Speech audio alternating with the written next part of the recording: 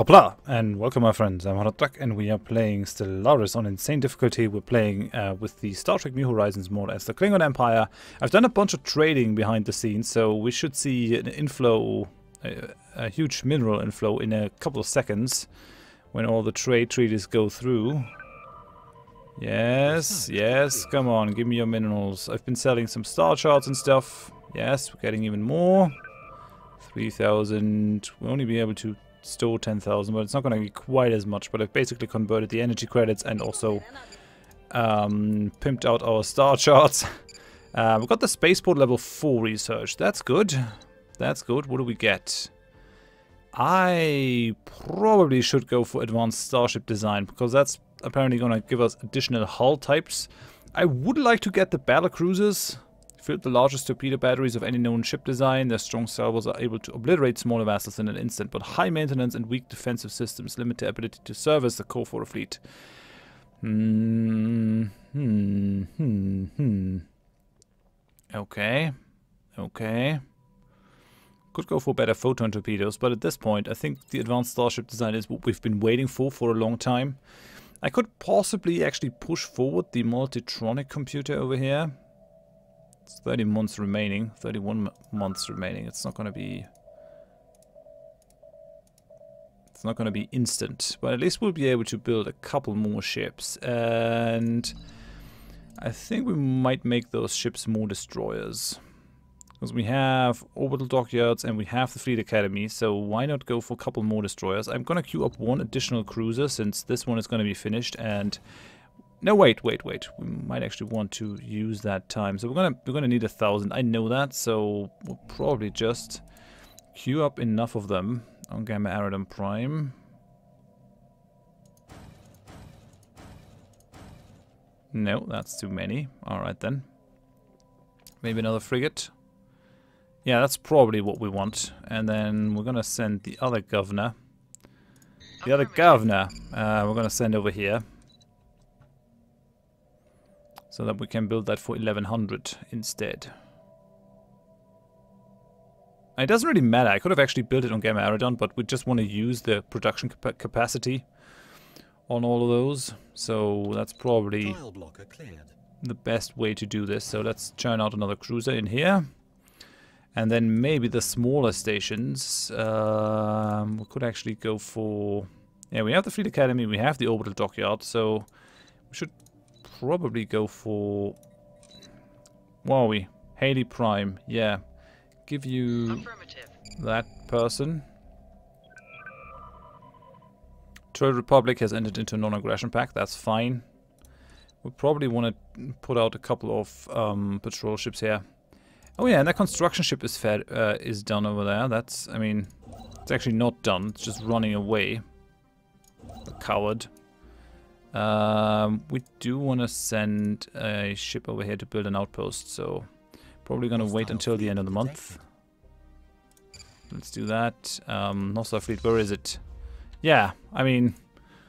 Oh, it, it's that one, apparently. Yeah, we're getting we're getting more ships from our vassals. They're uh, giving us about 3,500 in additional fleet power. So once we have reached about parity, with the Husnock, we should probably take them on to not drag this war out and actually create an opening for someone else. On the other hand, if we attack too soon... Oh yeah, there the Imperial fleet is up to 70,000 now. If we attack too soon, they're gonna take that as a sign of... Um, oh, we're gonna lose too many ships, and then the other empires are gonna take that as a sign that we should be attacked probably. Flaxian are now in a non-aggression pact with the Romulans. Trill Republic is in a non-aggression pact with these guys. Ah, I really don't want these to become vassals. Independence is guaranteed. Yeah, crap, crap, crap. Well, I can fight the Romulans. It's fine. It's fine. What are these guys doing? Entering orbit of Nagel. Warping to Thornburg. Okay, so they've understood that their fleet is no longer strong enough to really be hanging out in our own space. That's good. That's really good. I like it. We've successfully driven them out of our system. Um, I wonder if we would be strong enough to actually take on that transport fleet. They haven't even managed to take that planet, so... Ah, they're just now guaranteeing the independence of the Flaxian Republic. That's unfortunate. That's very unfortunate. But it won't help them. It won't help them. They're gonna join the Empire one way or another. They'll see. Romulans haven't been able to protect them up until now.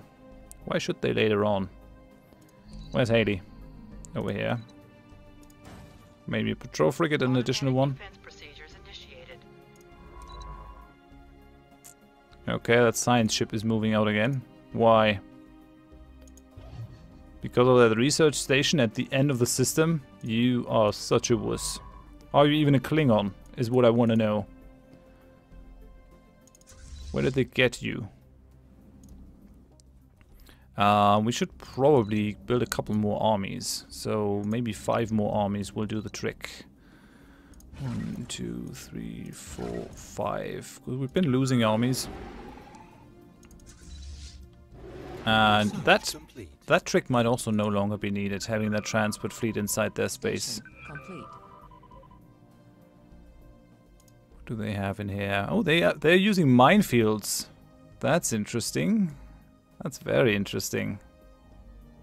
They're mining the areas around their spaceports. The Republic is now guaranteeing the Charonite Commissariat. Yeah. Stay out of my politics. Stay out of my zone of influence, Trill. You're one you're one province minor. Leave it. Okay, interstellar commerce.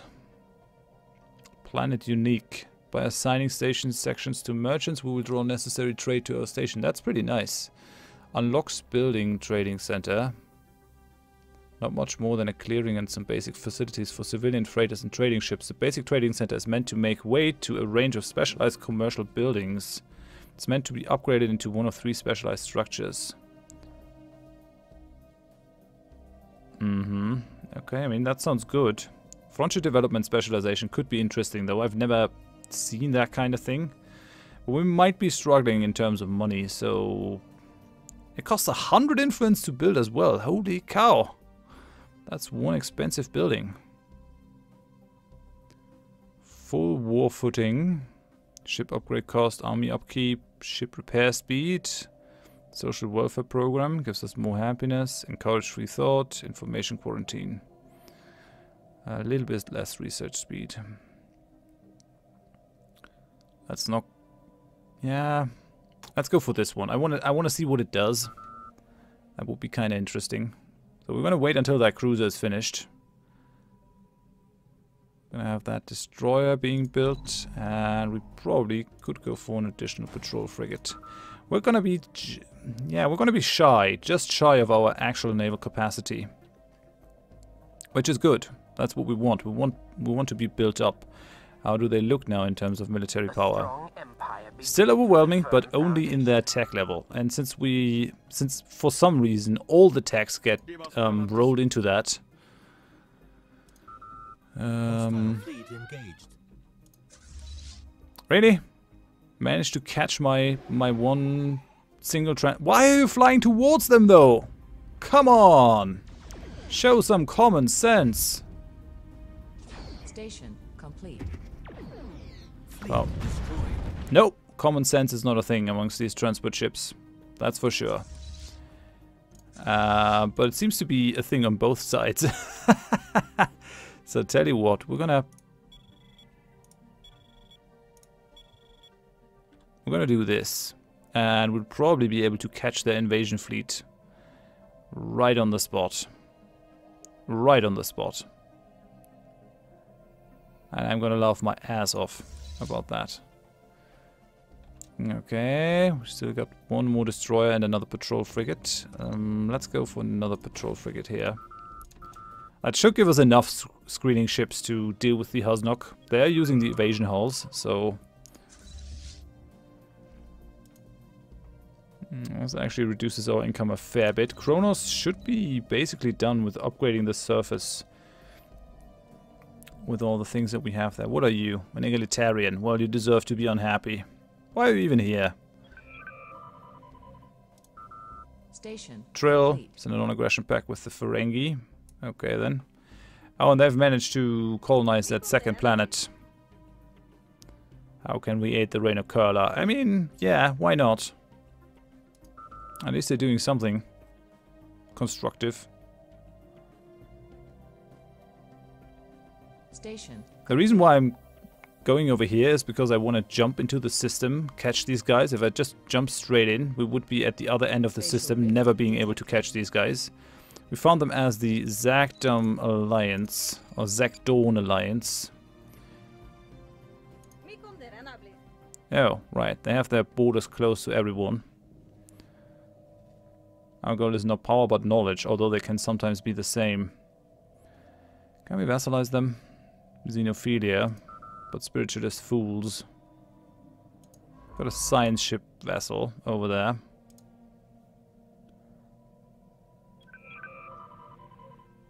Station complete.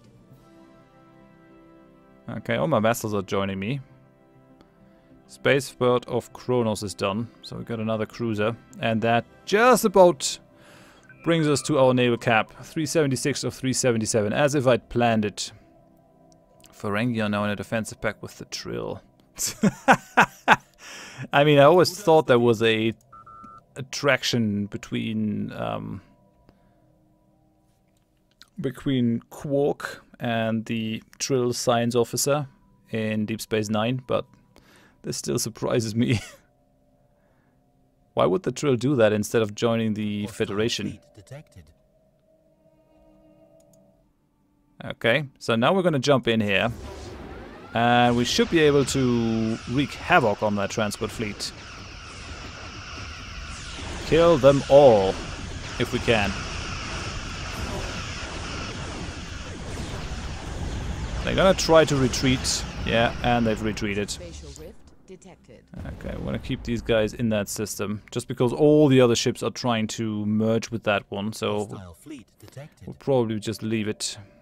Got another transport fleet. You're warping to Beta Lankel. Well, that's gonna be an unpleasant surprise. Spatial rift detected. For you. Where are they? Okay, didn't see them. So the Imperial fleet is now going to be about 20k strong, so we're really strong enough now to take the Husnock out. We are losing energy credits, so I gotta force a um, decisive battle soonish. And we're also almost done building those building those armies. I guess I'm gonna chuck one more onto there so that we get a full 20 stack, which is about what is enough um, to take all the planets in my experience. Uh, Member Prime. I did one of these, I had one of these planets as an energy planet, yeah, you. So why don't we actually use some of our minerals to go the energy route here. Um, let's put the governor that actually saves us some minerals on there. So cancel that one again. And where was it? I was upgrading another building, right? Wasn't I? Probably not. Oh yeah, over here. Cancel that one. So now we should be able to do it a little bit cheaper. Um, this probably needs a power plant. You probably need a power plant. Just trying to make sure that we can keep our fleet out um, if push comes to shove. There is some some stuff on the ground. Um, we're also gonna build another power plant over here. Put you on there. Just trying to make sure that no one is without any work. You're gonna be in work soon, or in employment. You're gonna be in employment very soon. Should probably upgrade that building, and then all the buildings that have no food on there, like this one, for example, is gonna be replaced with some more energy production. Like that's good. Uh, we might probably want to set the... Where is it? The ecological preserve on one of these planets. So let's do that. And yeah, the rest looks fine. I'm not going to build over the sciencey stuff. But that is okay. Oh yeah, we can upgrade you. That's good. That's good. And then Raptor... We should probably send someone over there who reduces who reduces the cost. So let's upgrade that thing, and then we will most likely wanna want a basic power plant on there, and probably on here, and here as well. Ah, I'm sorry. I'm sorry. I got I got the phone in my room. Just gotta stop the recording for a second. And I'm back. Sorry about that. I actually forgot that I had the phone in my room, so I probably have to edit these two parts together. But oh well. Um, so yeah, that should that should take care of our energy credits need. Just gonna wait until these two ships have um, joined up, and then we're actually gonna move into the Husnock territory. That should be all fine and dandy. Hickson. What Hickson? What's what's that? Five armies at this location. You're not in the Hickson system. I'm in the Kronos system. Okay, Haley's system has been fully surveyed. How is the building of the frontier outpost over there going? Could you could you be bothered to actually get those frontier outposts up now? That's a construction ship. Man, these guys are taking their sweet time. There are the Veda Emirates. I'm not sure why they are in here even. Station complete. No orders. We'll find the Chai aliens. Oh, you're already you're already going for the frontier outpost as well. Okay, I approve of that. I approve of that. And probably all of this is gonna join up with the rest of our space. Well, maybe if we get the other one over here. Hopefully, should be enough to propagate our borders. Don't have that in, in our space just not in our space. but we got that Iota Hydri, which is good. Alright, so we've got a 20k fleet. Um, these guys should be equivalent. Yeah, alright then. And we got this this army, so let's make sure that we actually give all these guys attachments as well. Have some attachments, have some attachments, have some attachments. More attachments. We're gonna fight on their ground now.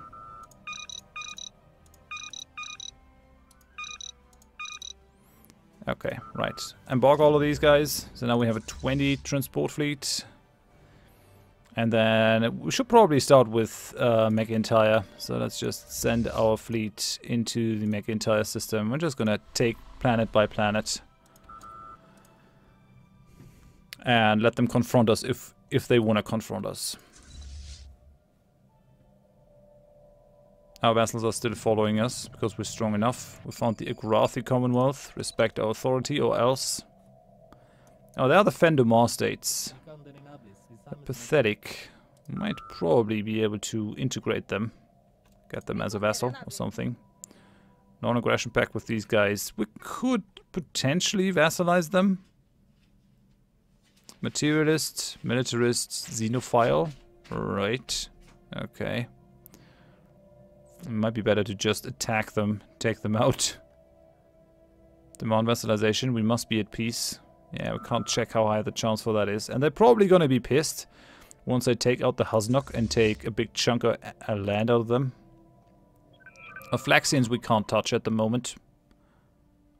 And the Agrathi Commonwealth has closed their borders. Well, screw you. Okay, we're starting building the, the Rule Frontier Outpost, which should connect these areas. Um, hopefully actually connect up with the rest of the stuff as well. So that's good. There's the Imperial Fleet. I probably won't really need that outpost over here anymore. Anyhow, now yeah, there's a there is a system in Thornburg, the geocrystalline that we could potentially terraform. Hmm. There's the Charonite Commissariat. Where are you going for? Following the Imperial Fleet. Alright. I mean, I guess they know that we're going for McIntyre. Non-aggression pact between the Antosian Union. And we've got an offer. Yeah, I take that. Have the Trellium D. It's worthless to me. Because I have so much of it. I even have an additional building slot for the Dilithium.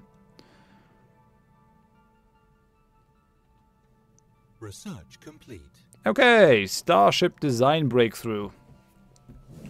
So, Chancellor Curler, my name is the Shipwright, and I've been leading a team researching advanced starship designs. I'm pleased to announce that we've made a substantial breakthrough, offering us a number of potential applications to pursue. So, um, yeah, what? As you know, following a breakthrough in starship construction techniques, we must decide between three design philosophies. Tactical variants are outfitted with additional tactical slots to best perform our enemies outperform our enemies in offensive capabilities. Additional engineering stations and modules on our ships allow us to outfit our ships with extra armor and hull plating as well as shield generators, thus improving our chances of survival in a fight. Or support variant, designed with scientific countermeasures and evasion in mind. So we're gonna go for the tactical at this point. Although going for engineering would sort of capitalize on the hulls that we already have extra armor and hull plating, but I think we're going to go for the tactical here to deliver that damage. Um, right, so what do we get now? 10% more minerals, parametallic armor. What does that one do? Plus 6 armor. That's all? Okay, we gain star-based shields. Uh, continued advances in deflector shield technology has led us this way. We should probably go with some of the cheaper ones. So let's just go and gain 10% more minerals. It's fine. It's also his specialty. This should go really fast. And then maybe we get something else. Um, ship designer. Does that change anything? Yeah, it does. It does. So probably in for, for refit um, after we're done fighting this war. I might not go for that right now. Although, on the other hand, I mean, refitting to superior designs is almost always worth it because it's going to boost our our power. So let's let's have a look. This doesn't change really, the whole bird of prey thing. So, well, what does that do? What do we currently have? We have just one slot in each. This will give us four in tactical, advanced tactical cruisers, tactical cruiser. I mean, why not? Why not? Why not go for the advanced tactical cruiser? Um, so this should allow me to go for boosting the weapon weapon's power up like crazy. I don't know. Pre-fire chamber, fire rate, weapons damage. This is gonna give us 40. No, wait, 39, 49, 51 percent. No, 52% additional weapons damage, but it's going to reduce our fire rate by 40%. So we're not going to fire as fast, but we're really going to hit uh, hard if we hit. And they don't cost any. They don't cost any energy, which is uh, definitely a consideration here. Hmm. Operation station just boosts everything that we have, but uses power. Yeah, all the others use power. I think we're just gonna we're gonna try this design. Looks like it could be useful. Um, field generator, because it's just more hull points. Emergency force field. The bulkheads also don't cost any power. But at this point, that one's gonna be a lot more useful. Hmm. We'll go with this. Let's let's try to make some power saving designs. Uh, we'll definitely need more tracking. So security station is probably a must at this point because we really have to hit if we want to make that happen. And then I can't go for wrecked over there, but I can go for the cargo pods, which is probably going to help the Empire in one form or another. Uh, I won't be able to put all the weapons on there, which is still a shame. But I guess that's how we're gonna do it. These guys are gonna hit really hard. We're getting 52%, but how is that? Why are weapons so weak? I guess I've neglected the the upgrading. Light photonic torpedo, heavy photonic torpedo. Yeah, I guess I've just not gone into research all that much. Mm, I could probably put some proper phase disruptors on there but they don't have the same amount of tracking that the other guys have. And I would have to change something. I mean, I could probably get rid of that um, additional hull point stuff. And just go for this. Nah. I'm not convinced. I'm not convinced. I actually think that the disruptor turrets are good because these guys need something to defend themselves against the smaller ships as well. Yeah, let's let's go with another disruptor turret here. Okay, save that. I think that is a design that's going to be a lot of fun for us. Weapons range, fire rate, weapons damage. Um, the destroyers, we also get a secondary hull for that. Let's go for advanced tactical destroyers. So, and probably the same thing on here. So additional power banks. Um, an additional... Where is it? An additional security station here. This thing can be fitted with a cargo pod. Let's, let's really keep the, the upkeep down on the ships. It's going to be good. Uh, although we also have crew quarters. I mean... Crew quarters need 30 power. Which at this point we have more than enough. At this point we have more than enough. We can even go for the crew quarters level 2. Which only gives a marginal benefit. I mean 20% boost in um, all, all in all. But still, this looks this looks good. I guess I can build around the cost in some other way. So let's go for another advanced tactical destroyer. Let's go for the the auxiliary power banks, um, security station for more tracking. I'm gonna probably fill this with uh, another energy generation thingy. And this one we're gonna fill with crew quarters level 2. And then the weapons are already built out like I want them, so that's all fine and dandy then. Let's save the quartz. And the patrol frigates. Yeah, we get any addition we don't get any additional hull for these, which is shitty, but I I can't change that. no way of changing that. I could go for the field generator. Give these guys an additional shield or something, but yeah, at this point, it's not going to work. Okay, so keep that. Um, how much would it cost to refit our fleet? 5,000? Fuck. Holy cow, 5,000? You gotta be kidding me. You gotta be kidding me. It might have been a better idea to actually go for these edicts so that I could go for this. Reduce the upgrade cost by 15%. That's crazy. That's just crazy. I mean, I guess I gotta save up. And it is a sizable fleet. Like, make no mistake, that is a very strong fleet at this point. Come on, come on. We want this. We want this ended before their fleet can jump in, so that they don't get the advantage of fighting right next to their spaceport. Okay, the fleet has jumped out. Transport fee can now come in. Uh, oh, and we got the Multitronic computers as well. Nice. We got the extendable shield support module which gives us less shield hull points, uh, hit points, but 8% more weapons damage. I mean, that sounds kind of good. We're also getting... Oh no, yeah, right. We definitely need the, the Pergium. We need the Pergium, I think. Power plant... No, wait, that's just for the special resource. I don't really th think I need that. But we can get the power hub, which is probably going to be very helpful now that we have such a big fleet. So let's keep that. But the Duotronic computer also forces me to do another redesign. Because um, these guys will... M5 computer.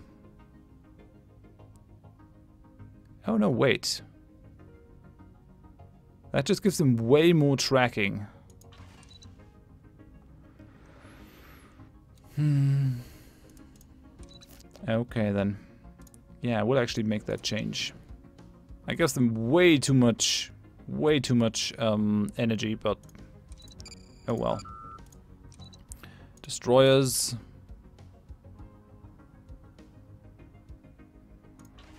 Crap. I won't be able to fit these on my ships on, um, unless I actually change something.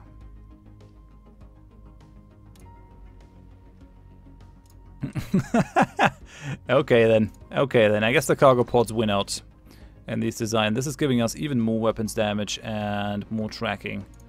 Which at this point 15 additional tracking. That's making a lot of difference in the way that our ships are built out. So that's probably the superior design. These guys still have some additional power, but yeah, minus 80. Minus 80. So that's still minus 30. I don't think I can put a power thing on there.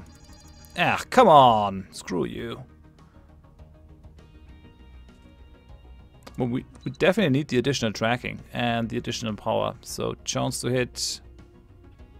We're gaining a lot more tracking, even if I give that up to go for some additional power.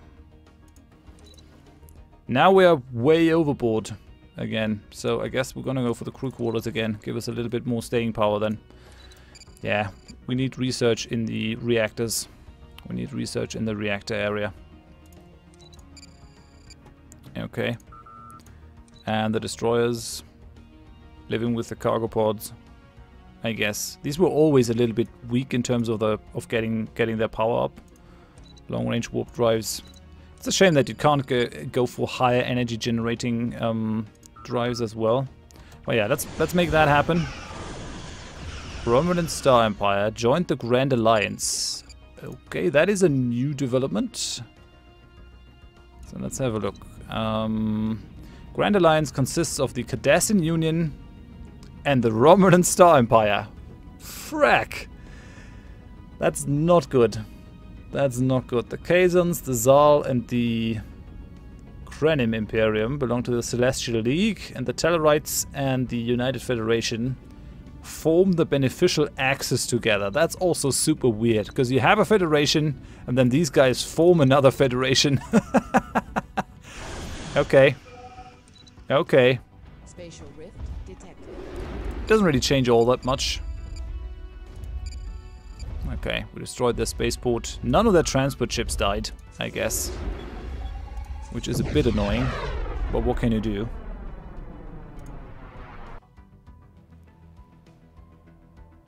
There's another ship of the Charonites. These guys want... Oh, these guys want minerals for blood wine. Apparently we have two blood wine now. I take it because I actually really do want to upgrade my fleet. That's even going to cost me 7,000. Holy hell. Holy hell. But I'm guessing that it's going to give us a considerable boost in military power. I mean, reducing reducing the fire rate of those big ships might not be a great idea. Um, if you have any opinion on that, then please let me know in the comments. It's going to be the last um, of the episodes that I recorded for the weekend. But yeah, we're reducing that thing, and I've actually wiggled out of that um, situation pretty easily. Okay, we have a colonization breakthrough. Uh, my name is Atrom, and I've been leading a team researching advanced studies into colonial development. I'm pleased to announce that what we've made uh, is a substantial breakthrough offering us a number of potential applications. So what? Um, Civilian entrepreneurs. This is but the very first step in a path that embraces the fringes of our society. The adventurers, dreamers, and settlers, they have always been the first to explore and set forth. Choosing this path would make rapid colonization considerably cheaper and easier, but at the expense of potentially losing control of our own people. This option can't be chosen by authoritarian empires. Frontier collectives, a specialization focused on controlled and directed colonization. It allows for faster growth rates and colonization speeds, facilitates resettlement and faster building speeds. This option can't be selected by egalitarians. We are straddling the fence, but let's go for frontier collectives because it really sounds like the thing that we should be doing. Right, um, a lot of things happened. What do we get over here? Resettlement cost minus 30%. That's really nice. Um, tactical station, still. I mean, probably. We want as much tracking on our ships as possible. But let's just knock out the special forces at this point just to get it over with. And then I guess I'm going to end the episode here. Lots, a lot has happened. I think we did pretty well. We are now on the offensive against the Husnock. This war really didn't turn out um, the way they wanted it.